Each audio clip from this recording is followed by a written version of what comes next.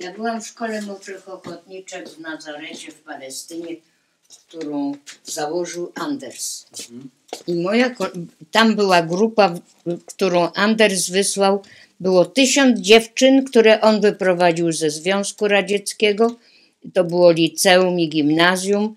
I były też 38 dziewczyn z powstania. Jedna z nich napisała taki wiersz.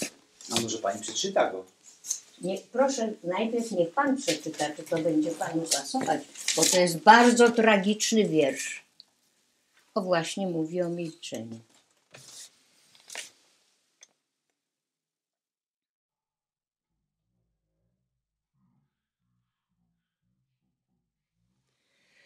Wiesz, dziś rocznica.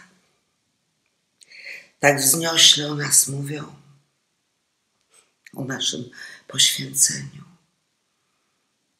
A ja jak wtedy czuję krew Twoją na ramieniu, gorącą, młodą, czerwoną. I dzisiaj dla mnie niczym, niczym są czyjeś słowa, ale to jedno wspomnienie.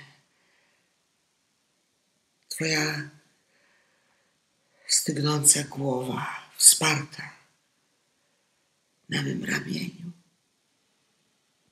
To wszystko.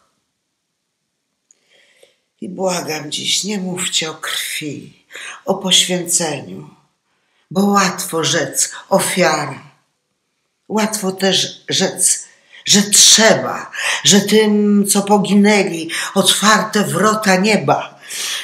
I łatwo mówić wzniośle i rozejść się w milczeniu. Ale nie żyć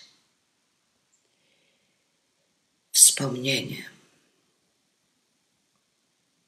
Wspomnieniem krwi drogiej na ramieniu.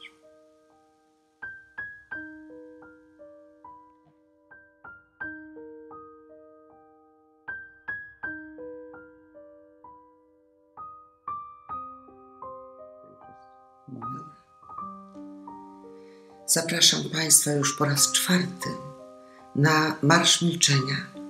Spotykamy się na ulicy Kilińskiego.